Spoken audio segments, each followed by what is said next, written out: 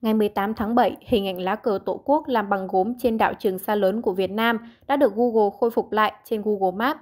Trước đó, vào sáng ngày 11 tháng 7, một người dùng mạng xã hội phát hiện trên ảnh vệ tinh của Google Maps không hiển thị lá cờ Tổ quốc được tạo bằng gốm tại đảo Trường Sa lớn.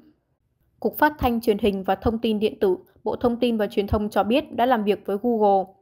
Quá trình làm việc, Google cho biết họ không làm mờ hoặc thay đổi hình ảnh vệ tinh vốn được cung cấp bởi các đối tác bên ngoài. Vấn đề liên quan đến hình ảnh đang được hiển thị là do chất lượng ảnh kém và Google đang tiến hành các bước cần thiết để thay thế bằng ảnh có chất lượng tốt hơn. Trên cơ sở trả lời của Google, Cục Phát thanh Truyền hình và Thông tin Điện tử đã yêu cầu Google nhanh chóng khắc phục. Lá cờ tổ quốc bằng gốm này có kích thước kỷ lục 12,4 m nhân cho 25 m, tức là 310 m vuông.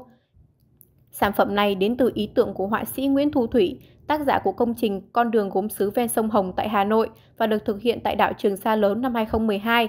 Kể từ đó đến nay, lá cờ này vẫn được Tổ chức Kỷ lục Việt Nam công nhận là lá cờ tổ quốc bằng gốm lớn nhất Việt Nam.